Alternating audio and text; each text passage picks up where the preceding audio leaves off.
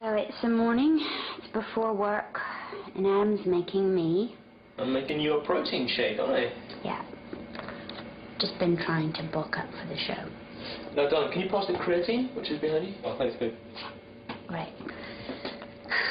Just a day in the life.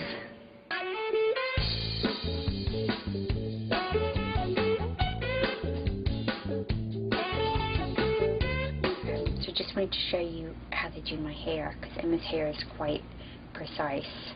Um, these are big Velcro rollers, and I love them because not only do they curl my hair, but they also provide me with digital cable.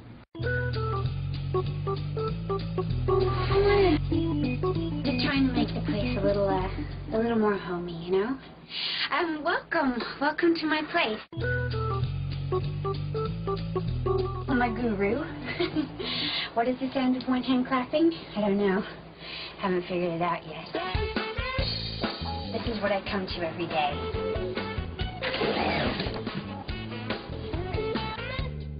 Welcome to my office, where stories are told, where I make my money. Come this way. Matt Morrison is the person I should be doing this with. And I just do your makeup. Know.